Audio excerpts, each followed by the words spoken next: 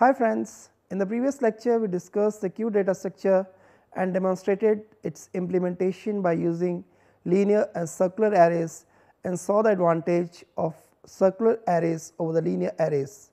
Today we shall be looking at some more implementation issues and the various applications of queues in computer science. First of all today we shall be writing a program which makes use of various functions for implementation of queues using a circular array and the complete working of the program is shown with an example. For the sake of simplicity in our program max q is taken as 4. The complete program is the state of q after execution of every statement is shown in the following slides. As we see after the call to init function the values of rear, front and count are set to minus 1, 0 and 0 respectively and the queue is empty at that point. When the function enqueue is called the variable rear is incremented to 0 and element a is stored at index 0 of items array and count is set to 1. The next two calls to enqueue increment rear and count by 2 and store b and c at indices 1 and 2 respectively. When the dequeue function is called the value at index pointed by the front variable that is 0 is returned and front is incremented to 1 and count becomes 2. Next call to dequeue function returns value b stored at index 1 and sets front to 2 and count is decremented by 1. One should note that elements A and B are still present in the items arrays as we are not explicitly deleting an element from the array during the dequeue operation even though the elements have been removed from the queue. In the array implementation of queues the values of front and rear are being manipulated instead of physical removal of values from the array. After the next enqueue operation element D is added to the queue and rear becomes 3 and count becomes 2. After the next dequeue operation the value C is returned and front is set to 3 while count becomes 1. After the next enqueue operation element E is added to the queue and rear is incremented and it becomes 4. But since rear has exceeded the highest index, so it is set to 0. The call to dequeue function returns value d stored at index 3 and sets front to 0 and count becomes 1. Next call to dequeue function returns value e stored at index 0 and sets front to 1 and count becomes 0. As count is 0, so the queue is now empty. We now look at the various applications of queues in computer science. Queues are used for any situation where one may want to efficiently maintain a first in first out order on some entities. These situations arise literally in every type of software development. As an example, Imagine you have a website which serves files to thousands of users. You cannot service all the requests, you can handle only say 50 users at a time. A fair policy would be first come first serve, serve first 50 at a time in order of arrival. A queue would definitely be the most appropriate data structure. Let us now have a look at applications of queues in operating systems.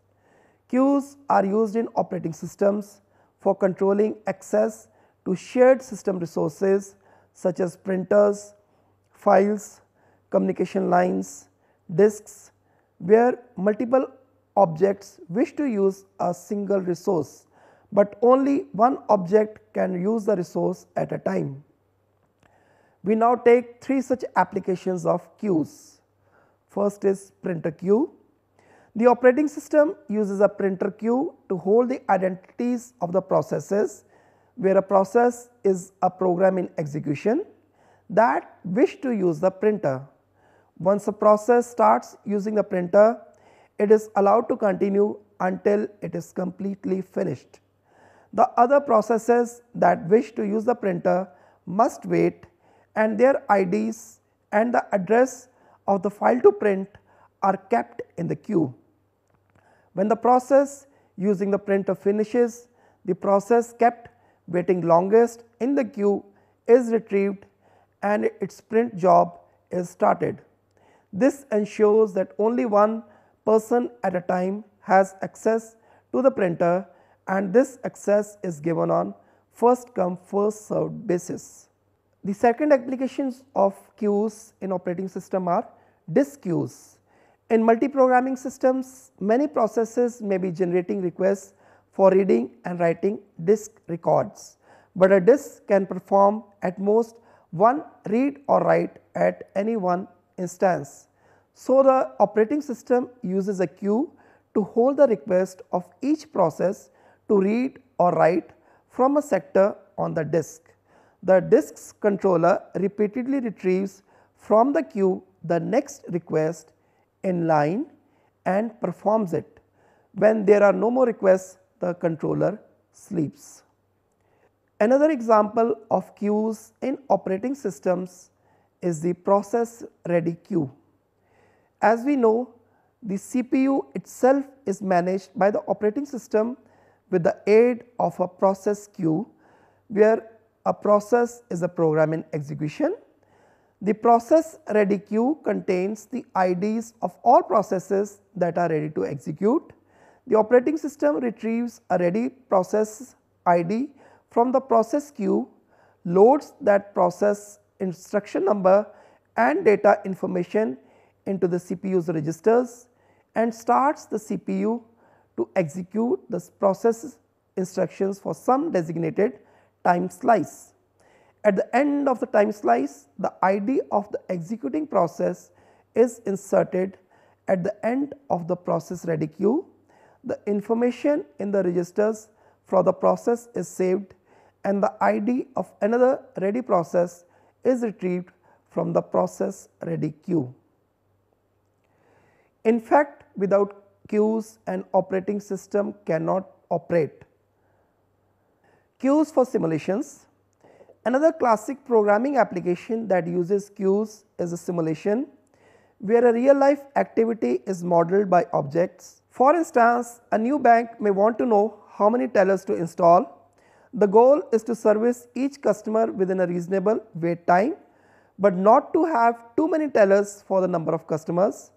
To find out a good number of tellers, they can run a computer simulation of typical customer transactions using queues to represent the waiting customers.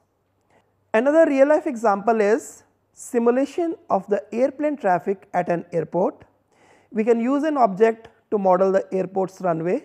This is the resource used by the airplanes to take off and land and at most one airplane can use the resource at a time. The airplanes are objects an airplane resides either in the air waiting to land or on the ground waiting to leave. The simulation places the airplanes waiting to land within a landing queue and the airplanes waiting to leave in a takeoff queue, producing a situation like in the following slide. Some other applications of queues are reading from the keyboard, a queue can retain characters in the order in which they are typed. Once the characters are in the queue, the system can process them as necessary. Second is implementing a buffer.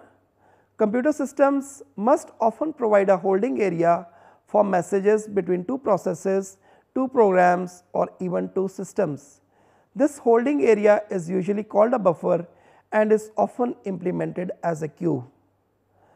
Another example is level order traversal of trees or breadth first search in a graph. Queues are used in implementation of level order traversal of trees or breadth first search in a graph for sorting the vertices found. Radix sort and finally, we look at a sorting algorithm for integers which extensively uses queues. The algorithm radix sort functions by sorting the input numbers on each digit for each of the digits in the numbers. The algorithm maintains 10 queues, one for each digit from 0 to 9 and a main queue to store all the integers for sorting. The algorithm follows these steps. First is place all the integers in the main queue. Second, remove each value in the main queue and place it in a digit queue corresponding to the digit being considered starting with the least significant digit. Third, once all the values are placed in the appropriate digit queue, collect the values from Q0 to Q9 in ascending order and place them back in the main queue. Fourth, repeat steps 2 and 3 with the tens digit, the hundreds digit and so on. After the last digit is processed, the main queue contains the values in ascending order. For example, let us say we have a list that contains the following integers. First place all the 6 numbers in the main queue. Next consider the units digit for each number in the main queue and place it in its corresponding digit queue. After the first pass the digit queues will look like this. Now start dequeuing the integers from the queues starting from queues for digit 0 and going up to the last queue corresponding to digit 9 and enqueue all of them in the main queue. Then dequeue the integers from the main queue and enqueue them in their corresponding digit queue based on the tens digit. Thus for example, the integer 56323 will be dequeued in the queue for digit 2 since the digit at tens place is 2. Now again dequeue all the integers and enqueue all of them in the main queue. Next dequeue the integers from the main queue and enqueue them in the corresponding digit queue based on the hundreds digit and then dequeue the integers from the queues and enqueue all of them in the main queue. Next dequeue the integers from the main queue and enqueue them in the corresponding digit queue based on the thousands digit and then dequeue the integers from the queues and enqueue all of them in the main queue. Next dequeue the integers from the main queue and enqueue them in the corresponding digit queue based on the 10,000 digit. In case an integer is smaller than 10,000 then it is enqueue in queue corresponding to 0 digit and then dequeue the integers from the queues and enqueue all of them in the main queue. At the end we have the sorted values present in the main queue since the number of digits are 5 for all the integers. We conclude our today's talk by having a look at another animation which has been provided at the following URL.